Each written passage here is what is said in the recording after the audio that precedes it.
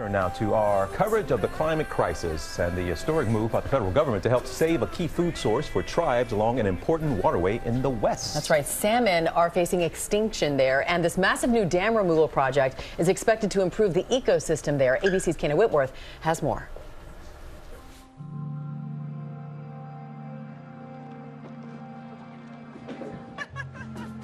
Raising five children on the Yurok reservation, Molly still weaves baskets cooks acorns, and wears traditional face tattoos. Keeping tribal memories alive is important to the whole family. There was a whole period of assimilation, right? It's like, don't speak your language, don't get your traditional tattoos, um, you know, like hide that you're Indian, just try to, you know, be in like mainstream white culture. And when they can, they fish reliant on the salmon that have run these waters of California's second largest river, the Klamath, since what the Yurok tribe calls time immemorial. The tribe now watching those salmon numbers dwindle. A couple years ago, fish numbers were really, really low. And we had about three cases of fish in our pantry. And so Frankie and I just made the decision ourselves that um, that we wouldn't fish um, in an effort to kind of let as many fish up the river as we could. Without the salmon, nearly 92% of the Klamath River Basin tribes face food insecurity and rely on federal government help. And as the western mega drought worsens, the water levels are reaching historic lows and temperatures too warm for the salmon to survive. Alarms have been going off since 2002 when 34,000 adult salmon were killed in the Klamath. Yurok tribal members turned their attention to the four dams holding back water along the river. Your entire relationship, in the time it has taken the dams to be removed, you have built a family and a life together.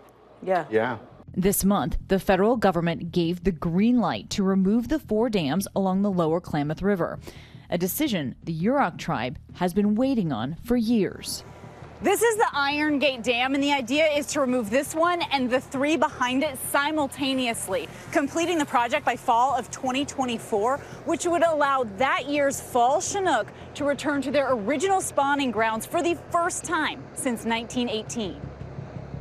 But while they wait for the dams to be removed, the tribe is working year round to restore the Trinity River, the largest tributary to the Klamath. So, where we're walking right now, you said is the largest restoration project in the history of the Trinity River. That is correct.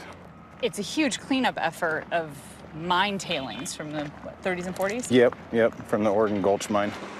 And most of the work is being done by tribal members themselves. We met Alderon McCovey working the excavator, who says it's non-stop work that he feels a responsibility to do our people are salmon people, and we've always believed if the salmon ever disappear, then we're pretty much done. So we got to do what we can to keep the fish in the river, you know?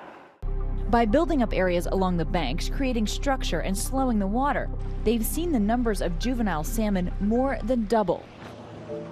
For Frankie and Molly, and so many more in the Yurok tribe, the dam removal means literally bringing life back to the river that they rely on so much. Salmon are a keystone species for the survival of this ecosystem that we're a part of. And if there ever comes a time when there's no more salmon in the river, then our ecosystem will have failed completely and won't be able to sustain our life here on this world. And that is not just for the Yurok tribe. Absolutely. That is for humanity as a whole. As a whole, 100%. And our thanks to Kayna Whitworth for that report.